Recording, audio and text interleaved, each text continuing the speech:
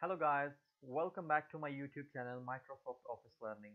Today I'm going to show you how can we use division function in Excel. How can we divide different values in Excel. So let's start the video. Here I created a sample data.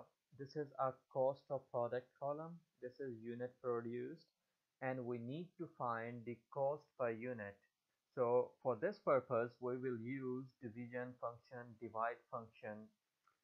The formula starts with is equal to the first cell reference and then slash sign and then this 500 which is a unit produced.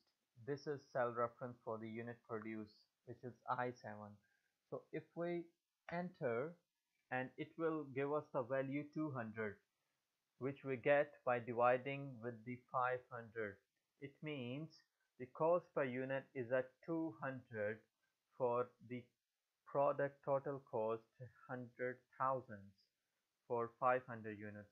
If I want to carry on this formula for the rest of the cells, what I will do, I will simply double click on this bottom. If I double click on this, so it will copy my formula for the rest all of cells. I no need to write the formula again and again. I just double click on this bottom when this plus sign appears.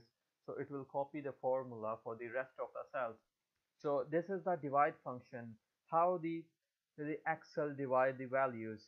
So this is the formula which I wrote down for the very first cell. This is, a, is equal to H7 slash sign and the I7. So this is the how the excel work for the division function.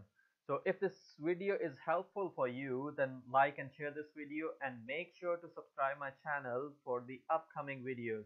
So i see you guys in next video